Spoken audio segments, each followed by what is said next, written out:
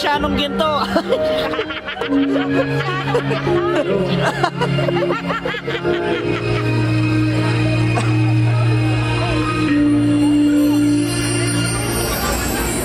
Sa tuwing tayo'y magkakaroon Hindi